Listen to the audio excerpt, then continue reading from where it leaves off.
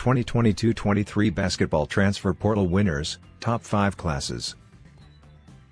Everyone has an opinion, including CBS/247, On 3, ESPN, Stadium, The Athletic, USA Today, and Busting Brackets. Both 247 and On 3 had compelling arguments to support their lists.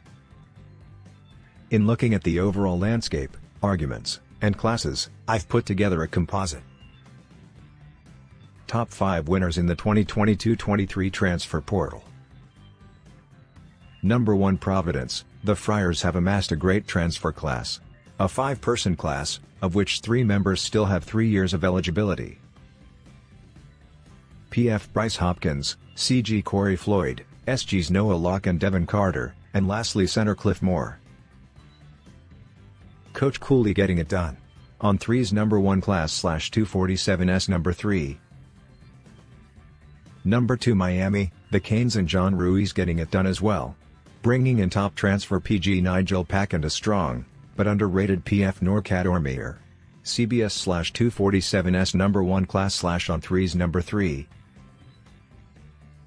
Number 3 Arkansas, the Razorbacks loaded up on bigs in this season's portal.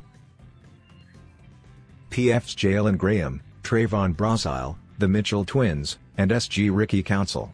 Busting BRKTS number 1 class.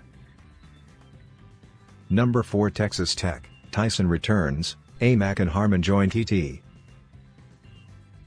Red Raiders class includes C. Fardaws Aimaq, SF Jaylon Tyson, SG Morian Williams, and PG De'Vion Harmon.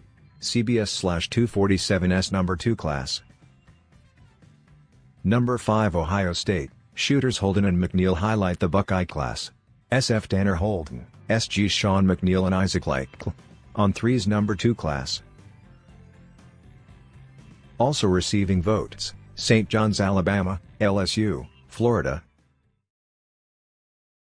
Also receiving votes, UAB, Wyoming, UMass, UConn, and Butler.